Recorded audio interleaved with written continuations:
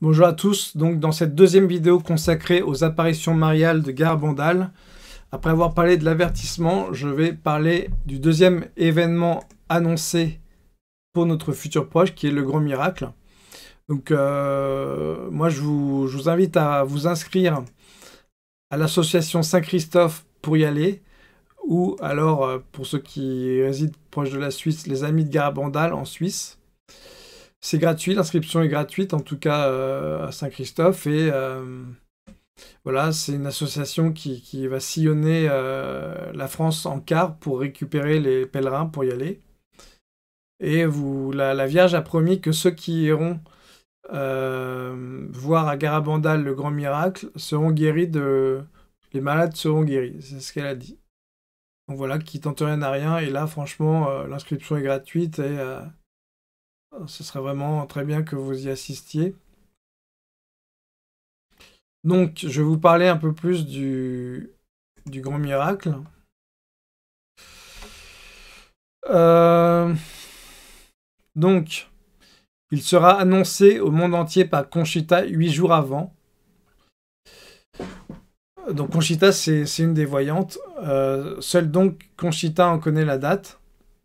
Elle annoncera le jeudi précédent la presse, la radio, la télévision le feront savoir à travers la planète dès le vendredi matin. Euh, quelle en sera la nature de ce grand miracle? Le miracle de Fatima n'est rien en comparaison de celui qui se passera ici et qui sera beaucoup, beaucoup plus grand. Ce sera beaucoup plus grand, beaucoup plus puissant qu'à Fatima.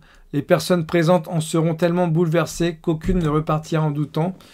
Il faudrait que le monde entier soit présent au miracle, car alors il n'y aurait sûrement pas de châtiment, presque tout le monde croirait.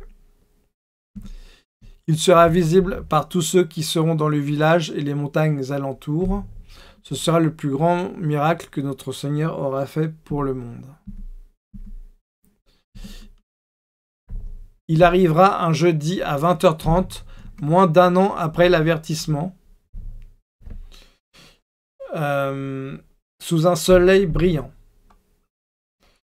Donc Marie Loli, Marie Loli, une des elle, est morte, elle est, morte en 2009, a toutefois donné une précision intéressante, moins d'un an après, mais pas forcément la même année. Euh, donc ce grand miracle durera entre 10 et 15 minutes. Il n'arrivera pas un jour de la fête de la Sainte Vierge,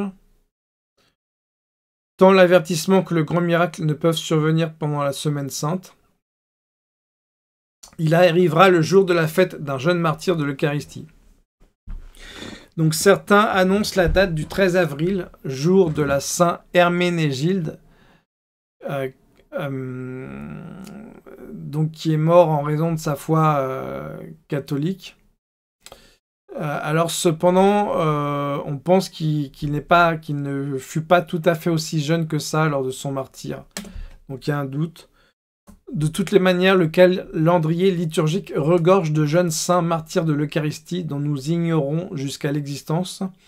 Il ne faut donc pas faire une fixation sur le 13 avril, ce serait trop facile. Quant à la jeune compagne de jeu française de Conchita à qui cette dernière aurait fait la confidence du 13 avril, sans en préciser l'année, le propre père de cette jeune fille, maintenant sexagénaire, m'a lui-même avoué qu'il ne fallait pas du tout se fier à cette histoire, dont acte. Donc ce jour-là, le jour du grand miracle, on pourra célébrer la messe en noir. C'est une affirmation de Conchita. Le miracle coïncidera avec un événement heureux dans l'église. Les malades seront guéris, les incroyants convertis. Donc là, c'est très important pour nous. C'est une certitude. À la question posée à Conchita sur le fait de savoir si tous les malades seraient guéris ou seulement certains, elle a répondu La Sainte Vierge n'a pas dit tous les malades ou certains, elle a dit les malades. Donc là, euh, euh, oui, donc c'est tous les malades en fait. Euh, quant aux incroyants, il a bien été précisé que tous ceux qui seraient sur place en repartiraient convaincus. Point final. Donc euh, il restera un signe euh, de ce grand miracle qui sera filmable et photographiable. Donc contrairement aux idées reçues, il n'y aura pas grand monde au village pour le grand miracle. Car en fait, euh, moi je pense que ce sera dû au... à la tourmente, à la tourmente du temps. Est-ce que les routes seront praticables? Est-ce que, est-ce que est-ce que l'Europe ne sera pas ravagée par les bombes, etc.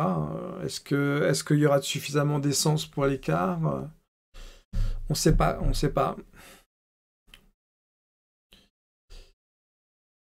Donc, quels seront les signes avant-coureurs du grand miracle? Il faut déjà que l'avertissement ait eu lieu, moins d'un an auparavant, que les voyantes soient parvenues à un certain âge. Donc la principale voyante qui est Conchita euh, a à ce jour 73 euh, ans.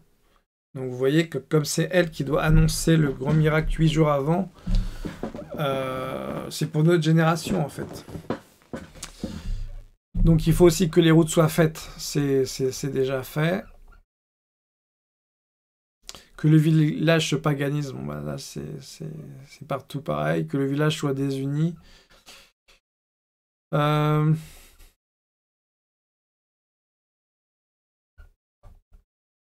alors après le miracle, donc un signe restera au pain jusqu'à la fin du monde. On pourra le photographier, le filmer, mais pas le toucher. La Russie se convertira. Le pape viendra à Garabandal pour authentifier les apparitions. Il y aura plus de pèlerins à venir à Saint-Sébastien de Garabandal qu'il n'y en a jamais eu à Lourdes.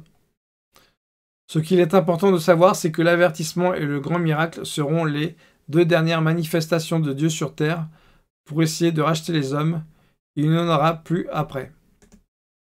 Voilà, donc moi je vous dis à bientôt pour la troisième vidéo sur le châtiment prophétisé à Garabandal. Que Dieu vous bénisse et à bientôt pour la prochaine vidéo.